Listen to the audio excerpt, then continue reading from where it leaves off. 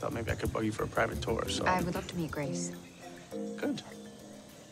Uh, Dr. Asano, we're planning on using ground-penetrating radar to locate Strathan's remains. It utilizes high-frequency EM waves to see beneath the ground. That way, we won't have to indiscriminately dig everything up. I'm sure the council will be grateful for your efforts. Good. Denny!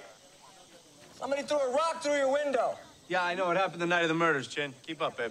No, brother. The other one. How does this even happen? Well, maybe it's a consequence of dismissing an entire culture of spiritual beliefs. All right, a ghost. A ghost busted my windows. Is that really what you believe? Well, what we believe, Danny, is that our ancestors are here with us, just as much as they were when they were alive. You, okay. Okay.